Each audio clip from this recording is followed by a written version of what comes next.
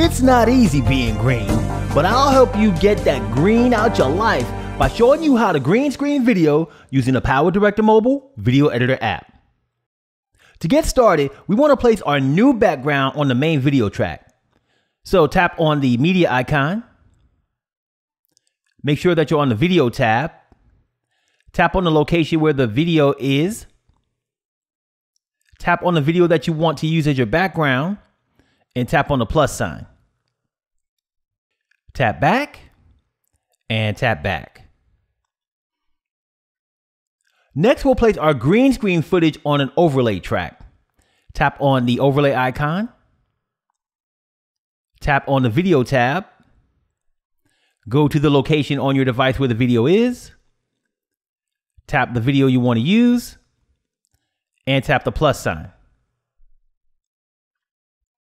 Now you want to resize your video so that it fills out the screen. So place your finger over the arrows that are pointed diagonally, hold them and drag it out.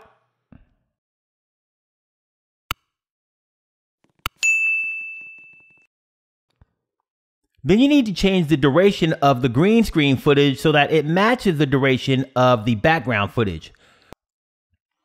Place your finger over the end of the footage and drag it in you know, snap into place.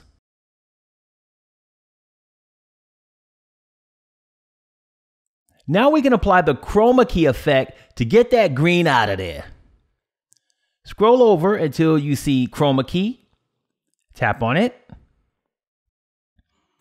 Tap on the color picker so you see it's blue and tap on any of the area that's green. Next, you'll use your range to go ahead and remove any of the green outline around the subject.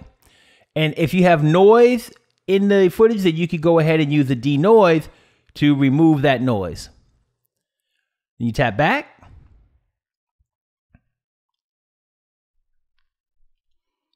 If you want to learn how to make five fantastic green screen tricks, check out this tutorial. Don't forget to smash my face to subscribe, hit me up with your comments, and drop me a like down below.